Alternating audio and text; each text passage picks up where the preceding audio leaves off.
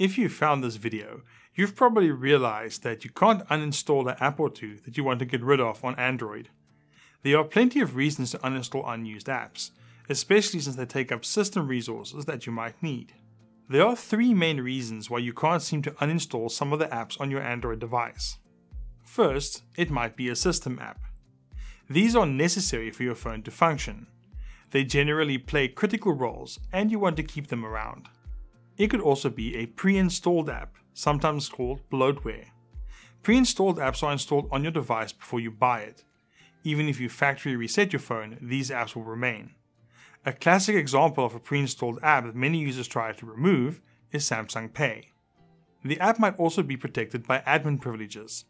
Some apps require admin privileges to function, which can protect them from being uninstalled. Some pre-installed apps just won't budge, Instead of going through a lengthy process to uninstall them manually, you can simply disable them. Disabling an app prevents it from using system resources, but it remains installed and still takes up space on your drive. Here's how to disable an app in Android. Open Settings. Next, tap on Apps. Look for the app you want to disable and tap on it. If uninstall is grayed out or not present, select Disable. Some apps won't even allow you to disable them, if this is the case, try the next method to uninstall them. As I just mentioned, some apps are granted Android Administrator access. These will prevent you from uninstalling them unless you revoke their admin privilege. Sometimes malware can also use admin privilege to wreak havoc on your phone.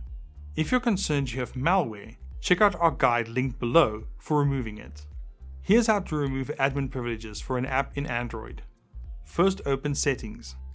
Next, tap on Biometrics and Security. Select Other Security Settings. Tap Device Admin Apps. Now, find the app you want to uninstall and tap the slider to revoke admin privileges. On some models of phone, you may have to tap the app and select Deactivate. Now, head back to Settings and then Apps. Once again, find the app you want to uninstall and then tap on it. Now with admin privileges revoked, you can select Uninstall. For truly stubborn apps, you can completely remove them using an advanced method involving the Android debug bridge, your PC, the Android Developer SDK, and a few terminal commands. For the details on how to use the ADB method, check out the article linked in the description below. See you next time.